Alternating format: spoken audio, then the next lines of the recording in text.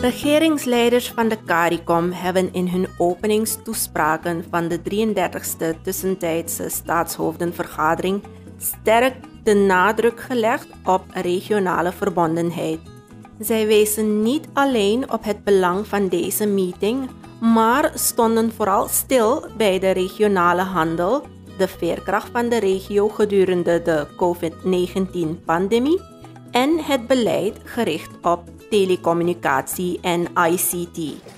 Other heads of delegations, heads of regional and international institutions, representatives of civil society, delegates, it is my pleasure to welcome you all and to address this opening session of the 33rd Intersessional Meeting of the Heads of Government of the Caribbean Community. I am particularly pleased that this, is my first address to this forum as Secretary General, is taking place in my home country. I thank the government and people of Belize for the hard work that has ensured that this meeting takes place despite the ongoing effects of the COVID pandemic.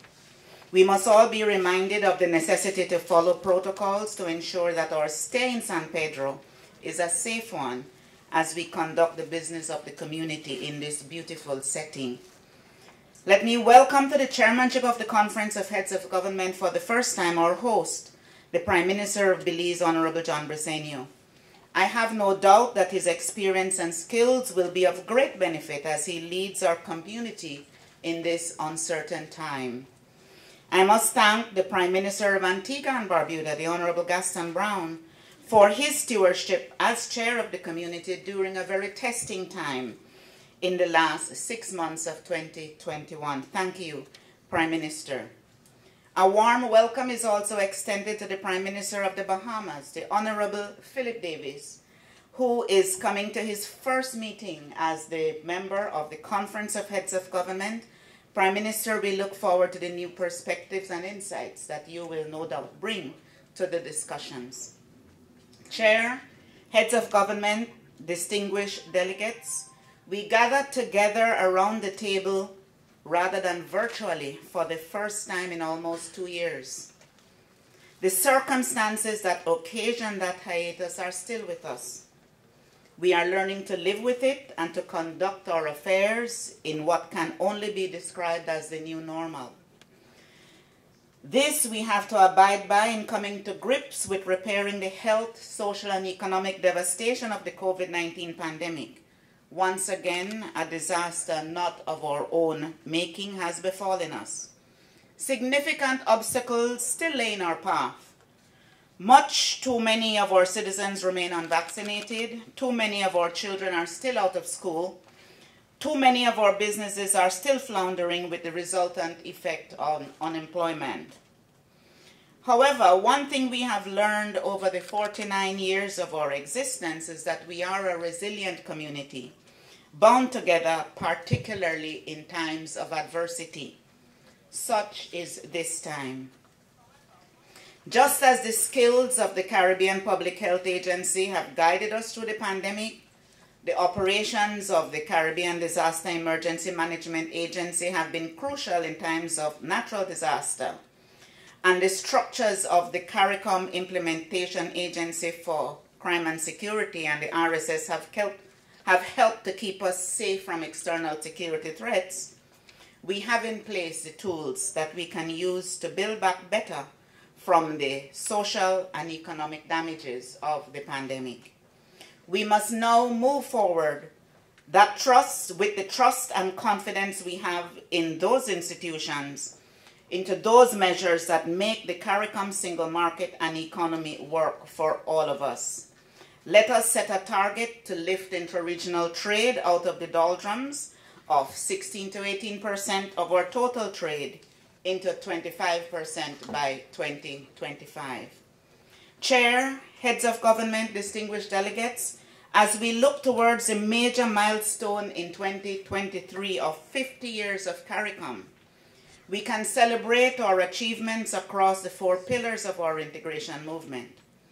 What we must also do is look forward to those achievements as the foundation for building a resilient Caribbean community based on rule of law, participatory governance, social and economic and environmental resilience, in short, a place in which our people live in a safe, viable, and prosperous society. Thank you very much. Ladies and gentlemen, a warm welcome to Belize. I am especially happy to welcome you all to San Pedro Caye, better known as La Isla Bonita. San Pedro is a destination which attracts many foreign and local tourists. It epitomizes beauty and leisure, which unfortunately many of us will not get to fully enjoy this week. But San Pedro is truly a microcosm of the challenges we all are facing as small island and low-lying coastal developing states. Beaches here are eroding because of rising sea levels. The Belize Barrier Reef, a World Heritage Site, is struggling due to coral bleaching. A growing population is testing the limits of the island's capacity. More recently, the COVID-19 pandemic dealt a devastating blow to San Pedro's lucrative tourism industry. But the resilient people of San Pedro did not succumb. They did not give up. When tourism ebbed, they pivot to fishing.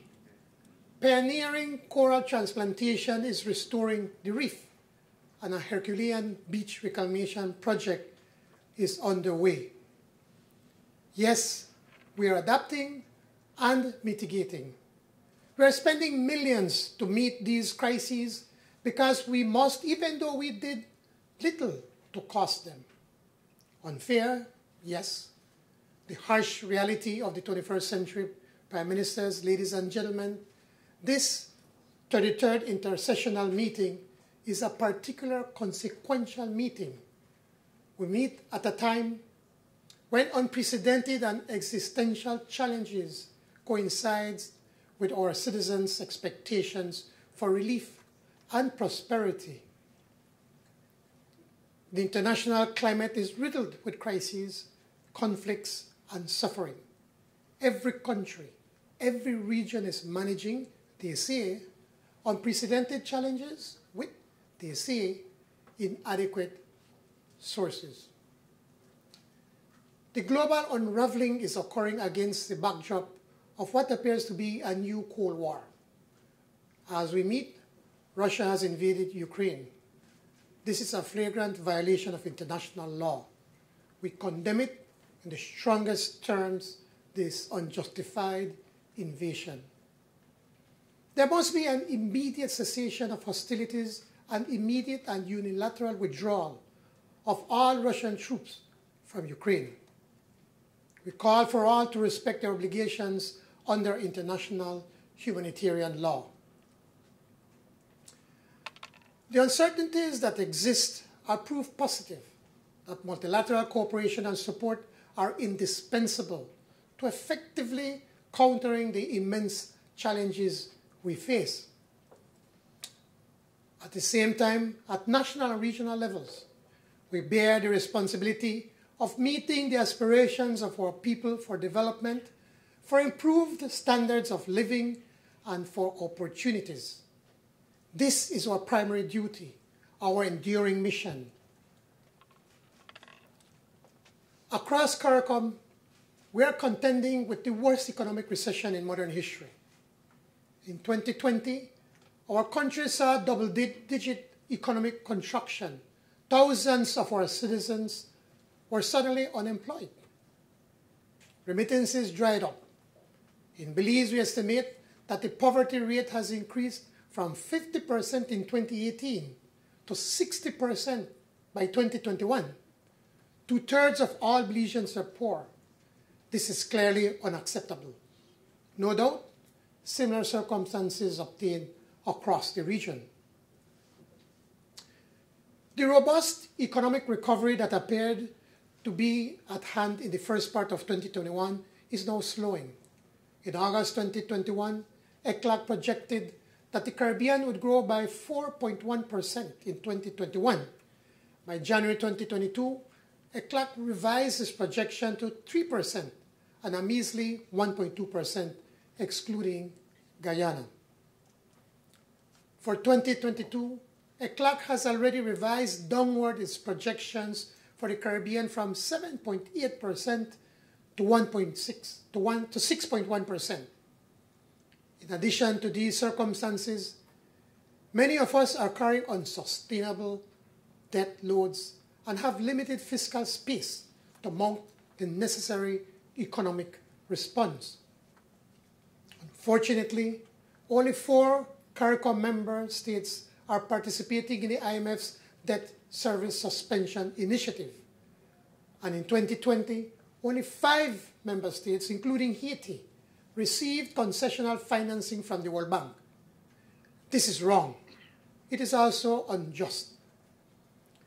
While it is imperative that we continue to press our case, which is fair and just, we know from experience that the wheels of international cooperation grind slowly. We cannot afford to lose further ground. We cannot afford to lose our future. Therefore, we must be more strategic and coordinated in our advocacy. We must demand an immediate reform of the international financial system, demand urgent climate action, and immediate access to vaccines. I want to also thank the Secretariat for all their support in the preparation and conduct of this meeting. And I must thank um, the Ministry of Foreign Affairs in Belize, um, CEO Amalia Mai, and our staff for putting all this together in such a short time. Let me also welcome those colleagues who are joining the conference for the first time, Prime Minister Davis of the Bahamas and Prime Minister Pierre of St. Lucia. Prime Ministers, ladies and gentlemen, we meet today at this place called San Pedro Ambergris Caye, Belize. It was first settled by the majestic Mayas and became an important trading place for the Mayas. The Maya civilization was advanced, it flourished, and then mysteriously weaned. Life forever is guaranteed to no one. The Commonwealth heads of government meetings in Rwanda and the summit of the Americas in Los Angeles, California are both scheduled for June this year. COP27 is expected to be held in November in Egypt. These are signposts on the road we will travel. There are forks in the road. We will face radically divergent paths on each occasion. Like the Mayas, let us remember that choices have consequences. Nevertheless, as I look to the future of our region, I am hopeful, I am optimistic, I am confident.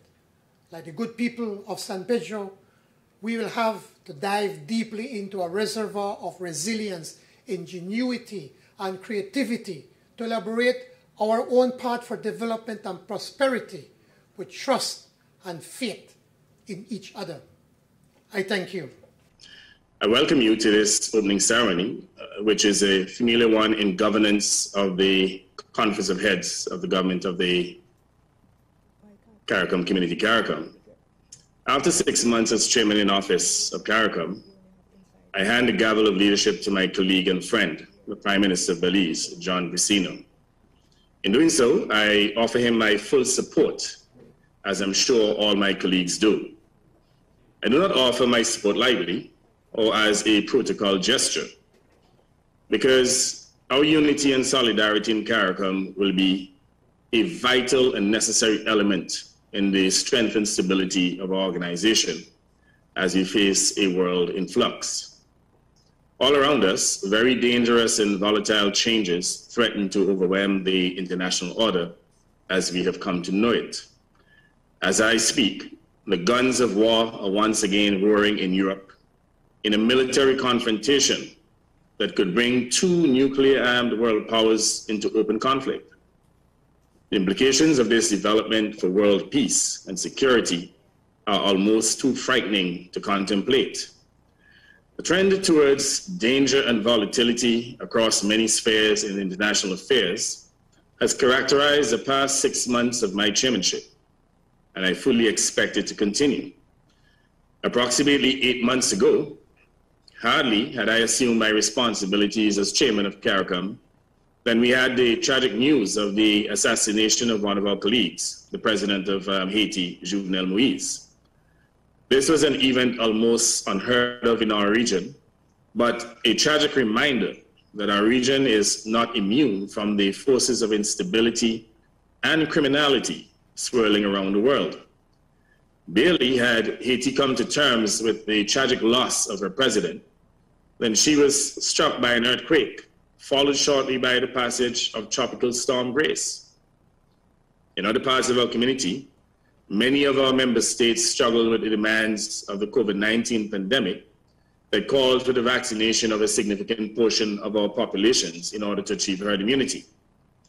Obtaining adequate supplies of vaccines on the international market became an issue. And even with the help of CARPHA, PAHO, and the establishment of the COVAX facility, several of our member states face vaccine shortages. Vaccine hesitancy also emerged as a significant regional challenge. We remain grateful to those countries of the international community which stepped forward to fill the gap. And these include the United States and India. With resolute and joint action, I firmly believe that the worst of the COVID 19 pandemic is now behind us, and our community is emerging from the devastating effects of COVID on lives and livelihoods. Climate change remains the most significant existential threat facing all of humanity.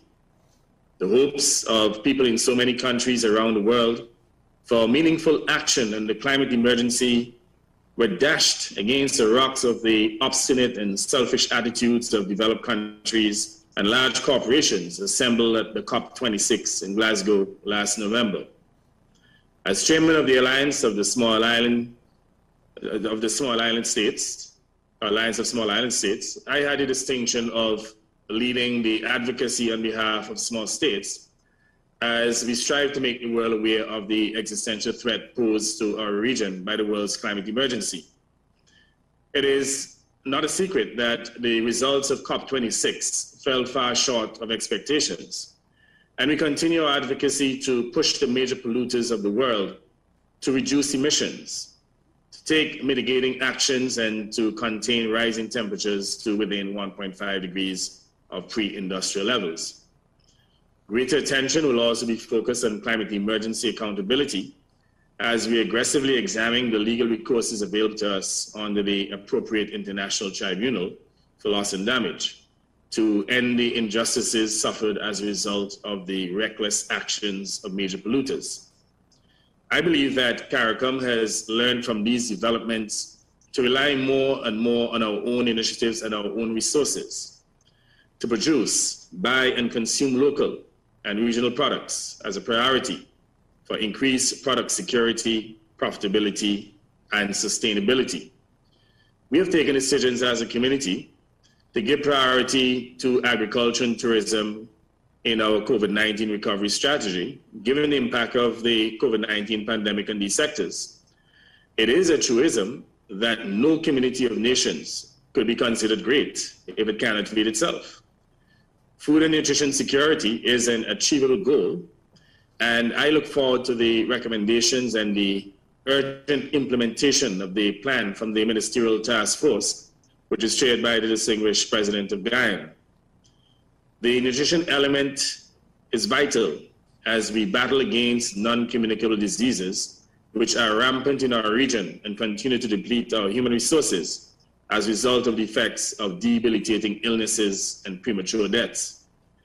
As we produce and consume more regional products, we must commit to joint action to develop reliable logistics and sustainable transportation to move goods and people within the region. This necessitates increased commitment and joint action among member states to facilitate a fully functional integration movement. I commend the Secretary General and the CARICOM Secretariat as they seek to turn the mandates of the heads of government into meaningful and practical action and to address the many challenges that loom before us. In closing, I wish us all a successful meeting, hoping as always that CARICOM moves from strength to strength in the noble task of regional development and integration in which it is engaged. I'm obliged. Thank you.